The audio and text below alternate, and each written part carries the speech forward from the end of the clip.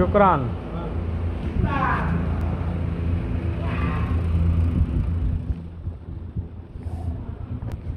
भाई, बहुत ही गर्म है, बहुत ही गर्म। हैंडल नहीं कर पा रहा।